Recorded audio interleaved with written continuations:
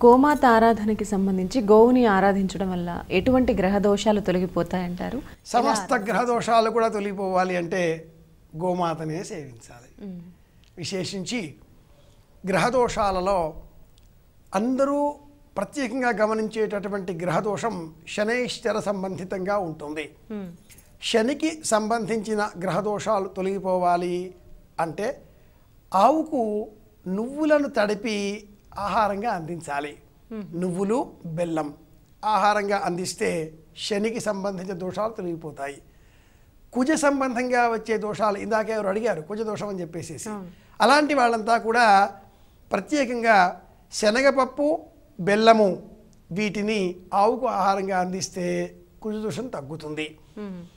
ఇక మానసికపరమైన రోగాలు కలవారు మనోవ్యాకులతతో ఇబ్బంది పడేటటువంటి వారు వీళ్ళంతా కూడా ఆ గోవుకు గోమాతకు వెండి గిట్టలను కాలికి గాలికి మువ్వలను అలంకారంగా అందిస్తే మంచి ప్రయోజనం చేకూరుతుంది. అలాగే ఈ గోమాతకు దొరద పుడితే తగ్గించుకోవడానికి దురద స్తంభం ఒక స్తంభం ఏర్పాటు చేయించాలి.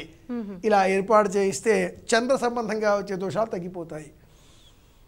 గురువు సంబంధించి దోషాలు ఏమైనా ఉన్నాయి అనుకున్న పక్షంలో ఆ గోమాతకు ప్రత్యేకంగా నీడ ఏర్పాటు చేయాలి. ఇక బుద్ధికి సరిగా వికసనం లేదు. పిల్లలు బాగా చదువుకోవడం లేదు.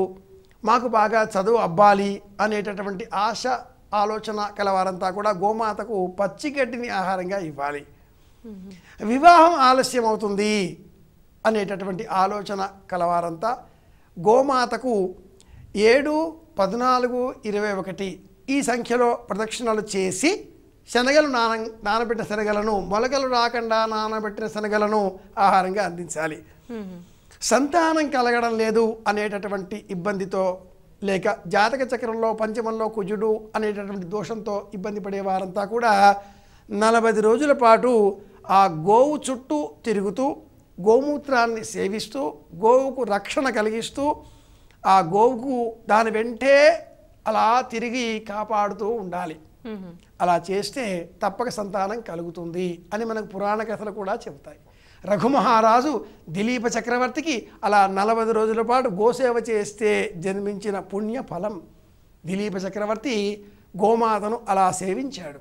కనుక గోసేవ చేస్తే గోవును సంరక్షణ చేస్తే గోవుకు గ్రాసం అందిస్తూ నీడ కల్పిస్తూ గోవు వెంట సంచారం చేస్తే శరీరగతమైన సమస్త దోషాలు తొలగిపోతాయి.